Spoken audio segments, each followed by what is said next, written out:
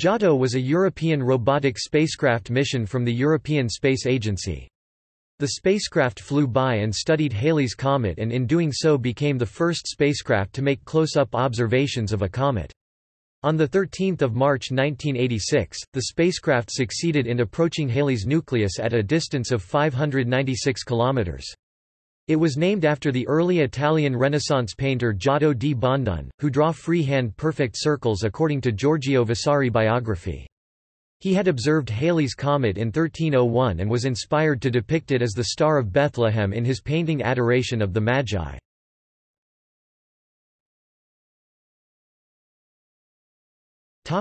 Mission Originally a United States partner probe was planned that would accompany Giotto, but this fell through due to budget cuts at NASA. There were plans to have observation equipment on board a space shuttle in low Earth orbit around the time of Giotto's flyby, but they in turn fell through with the Challenger disaster. The plan then became a cooperative armada of five spaceprobes including Giotto, two from the Soviet Union's Vega program and two from Japan, the Sakigake and Suisei probes.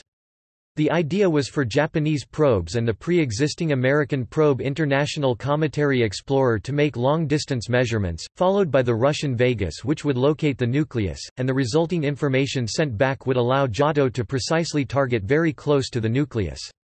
Because Giotto would pass so very close to the nucleus ESA was mostly convinced it would not survive the encounter due to the spacecraft colliding at very high speed with the many dust particles from the comet. The coordinated group of probes became known as the Halley Armada.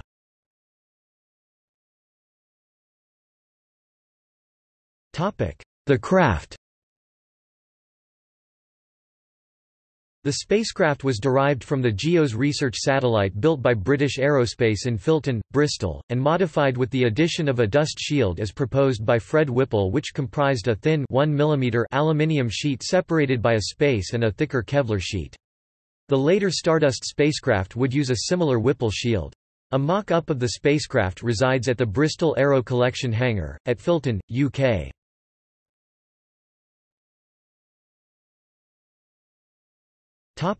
Timeline.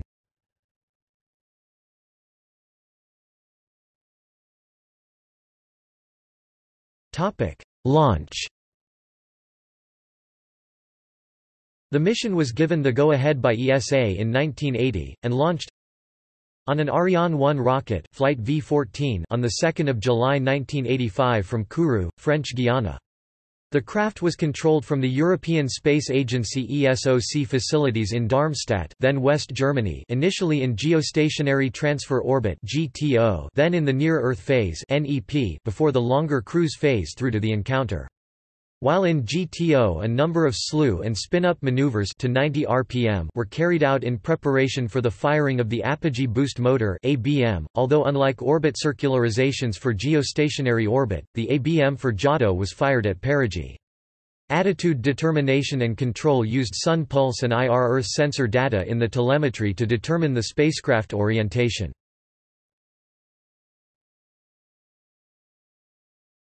Topic Halley encounter The Soviet Vega 1 started returning images of Halley on 4 March 1986, and the first ever of its nucleus, and made its flyby on 6 March, followed by Vega 2 making its flyby on 9 March. Vega 1's closest approach to Halley was 8,889 kilometers. Giotto passed Halley successfully on 14 March 1986 at 596 km distance, and surprisingly survived despite being hit by some small particles. One impact sent it spinning off its stabilized spin axis so that its antenna no longer always pointed at the Earth, and its dust shield no longer protected its instruments. After 32 minutes Giotto re-stabilized itself and continued gathering science data. Another impact destroyed the Halley multicolor camera, but not before it took photographs of the nucleus at closest approach.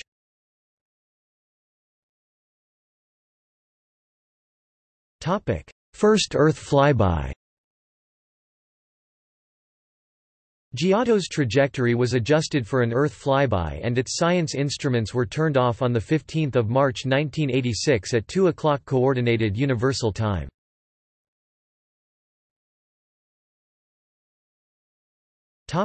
Grigg-Skjellerup encounter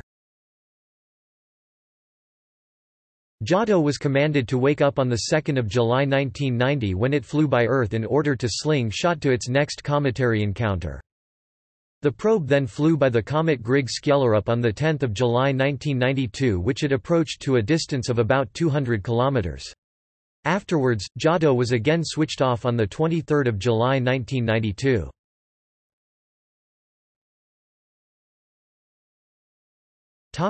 Second Earth flyby In 1999 Giotto made another Earth flyby but was not reactivated.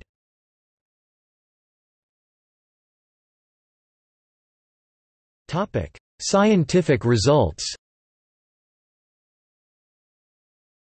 Images showed Halley's nucleus to be a dark peanut-shaped body, 15 km long, 7 km to 10 km wide. Only 10% of the surface was active, with at least three outgassing jets seen on the sunlit side. Analysis showed the comet formed 4.5 billion years ago from volatiles mainly ice that had condensed onto interstellar dust particles. It had remained practically unaltered since its formation. Measured volume of material ejected by Halley 80% water 10% carbon monoxide 2.5% a mix of methane and ammonia other hydrocarbons, iron, and sodium were detected in trace amounts. Giotto found Halley's nucleus was dark, which suggested a thick covering of dust. The nucleus's surface was rough and of a porous quality, with the density of the whole nucleus as low as 0.3 grams per cc.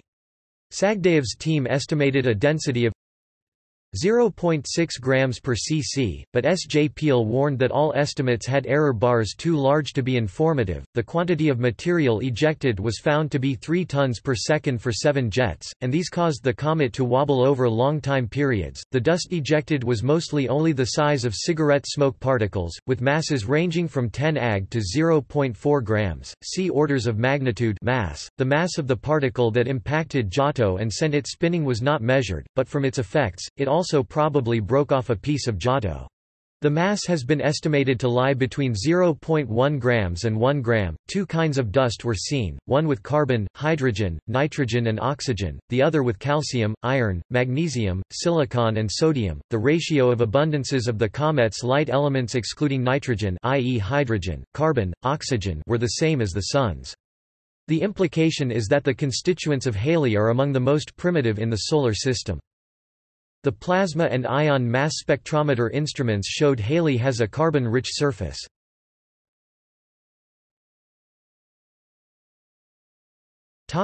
Spacecraft achievements Giotto made the closest approach to Halley's comet and provided the best data for this comet. Giotto was the first spacecraft to provide detailed pictures of a cometary nucleus. Giotto was the first spacecraft to make a close flyby of two comets. Young and active comet Halley could be compared to old comet 26P, Griggs-Skjellerup. Giotto was the first spacecraft to return from interplanetary space and perform an Earth swing-by. Giotto was the first spacecraft to be reactivated from hibernation mode.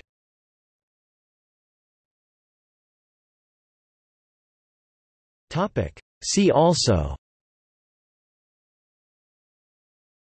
Timeline of Solar System exploration.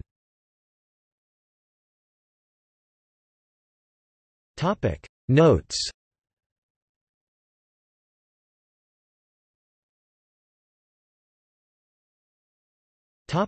External links. Mission website. Interview with the mission's deputy project scientist by NASA's Solar System Exploration Nature 1986 about Giotto mission. Giotto di Bondone's adoration of the Magi painting that includes his rendition of Halley's Comet. Image of Halley in 1986 by Giotto spacecraft